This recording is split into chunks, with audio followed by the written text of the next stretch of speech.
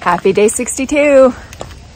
Stayed the night at Lakes Inn in Greenwood Lake.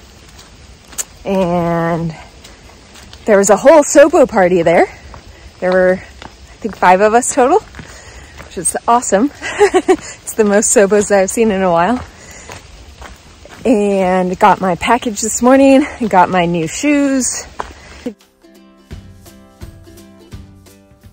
got more coffee, did laundry, took a shower, all all of the town stuff, um, and bought some more food for my pack.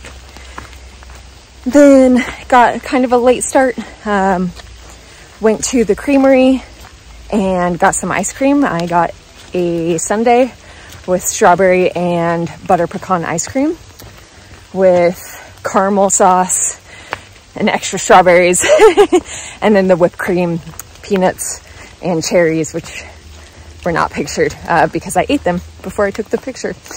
And yeah, now back on trail. It is raining. It's been raining all day. It rained half of yesterday, but it is still pretty warm out. Um, and it's not a heavy rain. It's just kind of drizzly so it's not too bad to hike in. Yeah. Uh, there's a shelter 10 miles in, so that's my goal for the day. We'll see how I'm feeling and what time I get there. Um, yeah, stomach's still good. I think we're fine.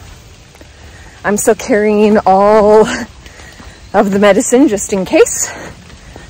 But I think if I'm still good by the next hiker box that I run into. I might ditch some of it because it is a lot in my pack right now. Um,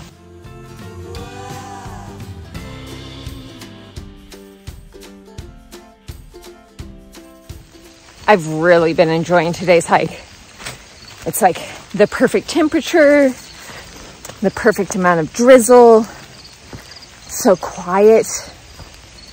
The only thing is that these ledges are real slippery.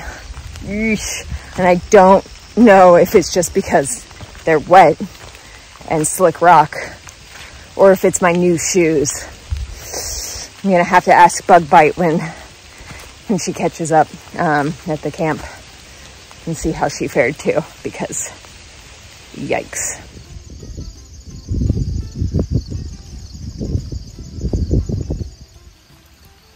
Hello, New Jersey.